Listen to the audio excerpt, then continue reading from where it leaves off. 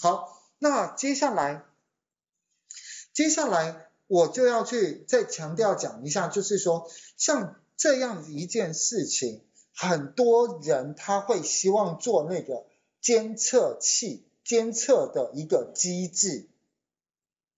什么叫监测的机制？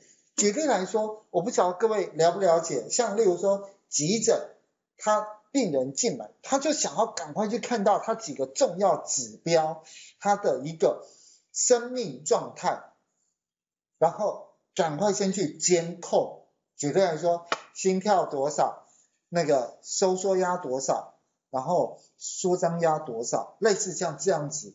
还有像例如说台风。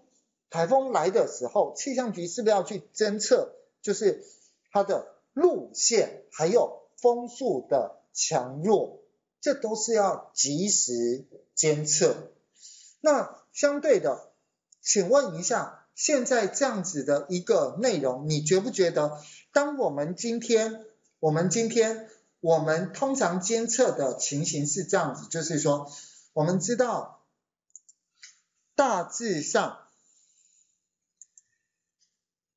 大致上，在这个过程间，这个过程是不是都维持在二十个百万？就是个月的表现大概维持在二十个百万。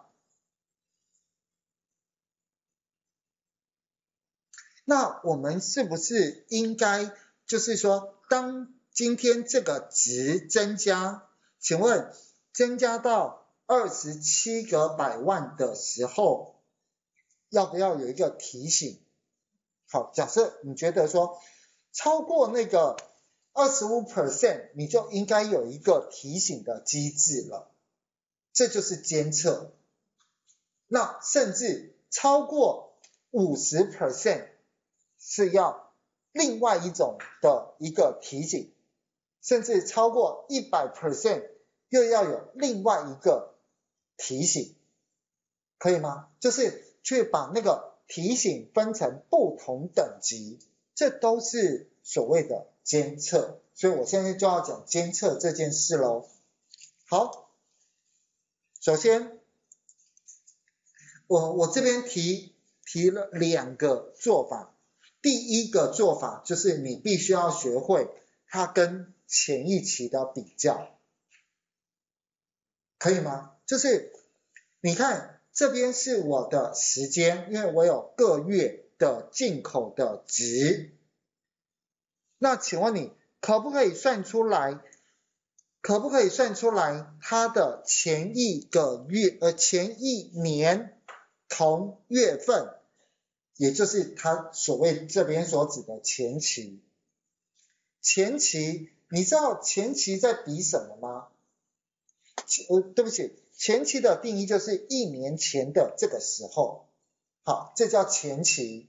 可是还有一种前期是指上个月，就是我这个月跟上个月的比，可以可以了解哦。好，所以我这一个图在画的是，就是前一年的同期。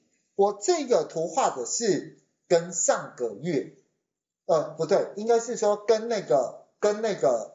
没有发生这件事来去做比，那至于说跟上个月，你们就自己回去再思考一下怎么做。